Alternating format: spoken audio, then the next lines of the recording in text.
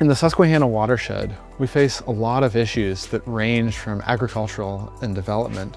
What we're really doing here is working with our students to prepare them to be the scientists of tomorrow, to address these challenges, getting their hands on in the field so that they can come up with the solutions of tomorrow.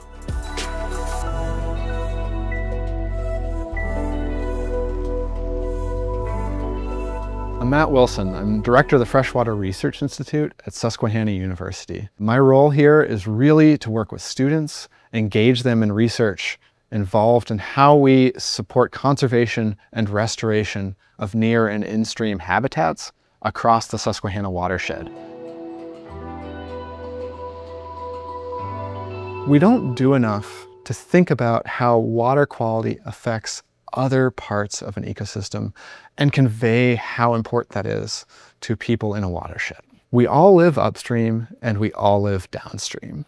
We need to think about that because where our drinking water comes from might be a river. So if we're able to protect our watershed, you don't need to do it for the fish. Do it for yourself. But if you want to do it for the fish, we really need to think about how clean gravels in the bottoms of streams are often where most of our native fishes breed. If they don't have clean gravel without fine sediment on top of it, we're going to lose some of those fish. When we think about restoration or conservation, it's not about one piece of this puzzle. It's about what can we do here at Susquehanna to fill in individual pieces and help create a better image of what the entire challenge is and what we can do for solutions.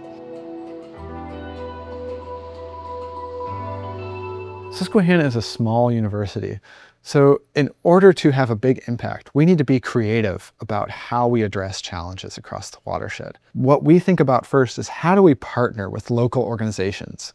And how do we get as many students as we can engaged?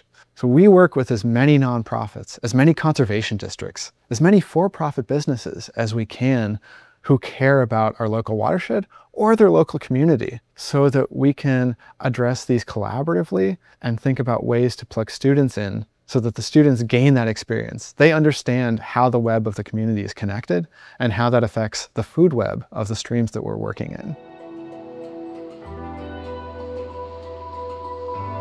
The most critical part of what we do for the watershed is education. And when it comes to education, the fundamental part of that for me is that you can't love what you don't know. So what I want to do with our students is instill that love in them because once they have that, they have the passion, they have the excitement, and they have the understanding from working with us to apply that passion in a positive way for outcomes in the future.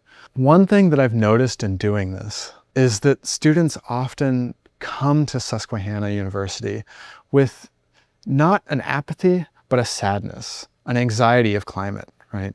So my advice to students about what they can do would be, how can you act locally in a way that then scales globally?